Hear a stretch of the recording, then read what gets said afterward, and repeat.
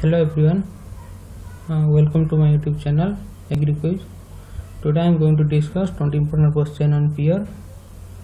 let's start question number one major acid present in peer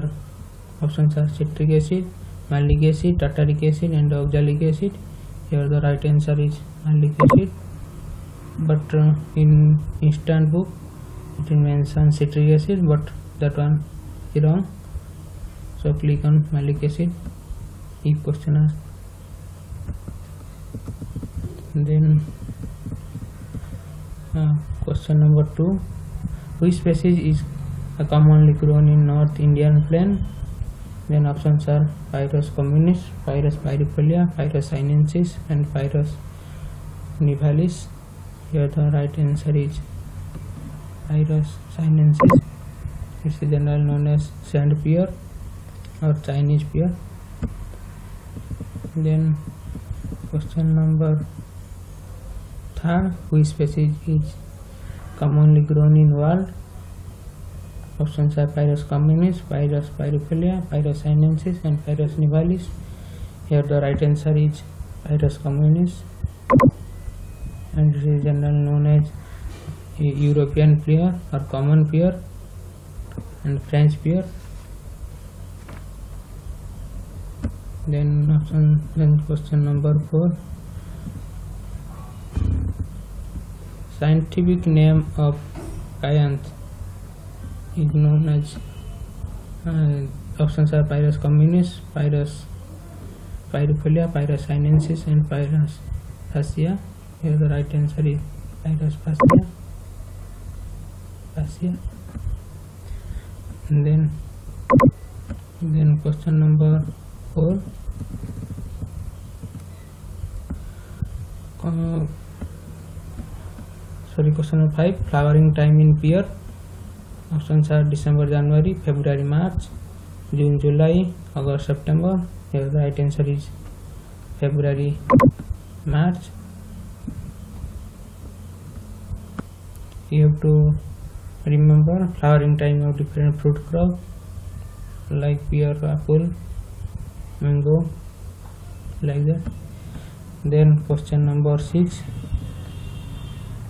genome size of pear where the options are 352 mbpa mbp then 512 mbp 452 mbp then 656 mbp here the right answer is 512 512 then question number 7 commercial propagation in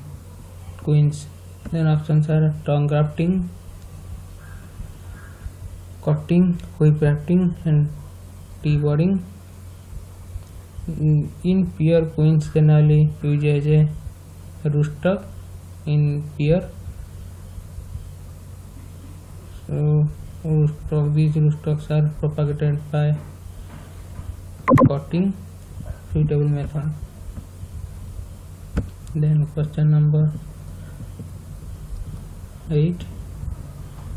Pyronia is cross up. Here the options are pear, queens, and apple, pear, plum, peach, then peach, pear. Here the right answer is psi appear into queens this is a intergeneric cross between cross between pear and coins that produce Pyronia. then question number 9 Anjou is a Anjou is a variety which introduced from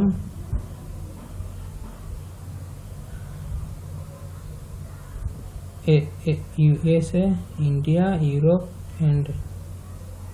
China sorry India is wrong wrong one this no this option will not come in exam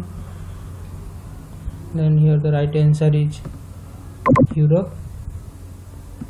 from Europe it is introduced introduced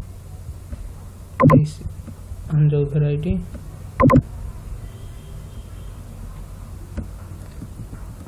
then question number Then question number 10 grid cells are found in which temporary fruit crop here the options are apple pear plum and peach here the right answer is pear then question number 11 fire blight is the most serious disease in pear is due to The options are fungus phytoplasma virus and bacteria here the right answer is bacteria fire blight is due to bacteria then question number 12 Mule is a intergeneric hybrid, intrageneric hybrid, interspecific hybrid, and intraspecific hybrid. Here the right answer is intergeneric hybrid because it is cross of two different genera of fruit that is between peach and plum. then question number 13 scab in pear is due to fungus phytoplasma virus and bacteria scab disease is due to fungus and name of the this fungus is um, venturia